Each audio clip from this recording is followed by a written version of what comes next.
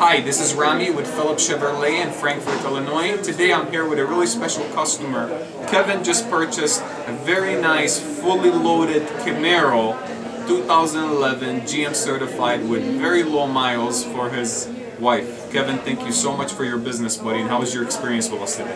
The experience I've had today has really been great. They've held up to their word and it's been a good experience. Thank you. Thank you so much. Thank you so much for your business. Congratulations to the wife, I guess, huh? Yeah, she should be happy. Congratulations to you. Thank you so much.